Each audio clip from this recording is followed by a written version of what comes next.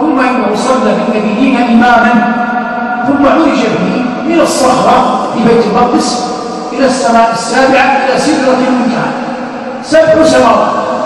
السماء الأولى استفتح جبريل. فسأله الخازن قال أنا جبريل. كأن الخازن شعر بشيء أو معك أحد قال نعم معي محمد.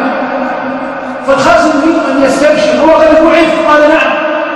وكان أهل السماوات يستبشرون بمثلة نبينا صلى الله عليه وسلم فرأى نبينا عليه الصلاة والسلام السماء الأولى أبان آدم وهو رجل طوال ستون ذراعا في السماء لا يكاد أحد يستطيع أن يراه دون أن يحمي رقبته بشدة الأمر وحوله أنسمة أسودة عن يمينه وشماله. إذا راجعت اليمين ضحك وإذا راجعت اليسار والشمال بكى قلت من هذا يا جبريل؟ قال هذا أبوك آدم. فهذا مسلم قائلا مرحبا بالإبن الصالح والنبي الصالح.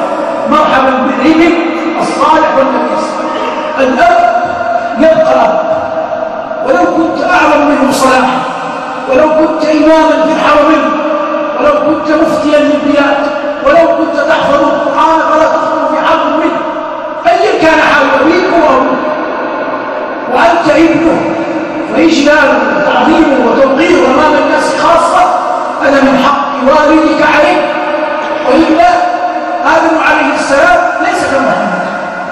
فمحمد خير ولد عليه الصلاة والسلام بالنبي الصالح والإبن الصالح